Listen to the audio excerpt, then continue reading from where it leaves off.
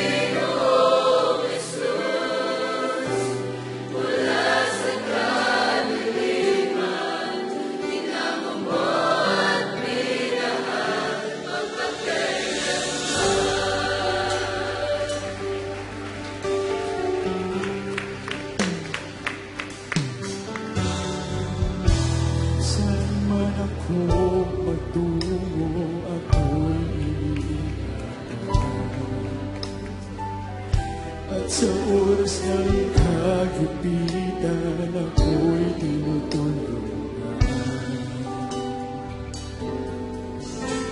Hindi pinabayaan kailanman.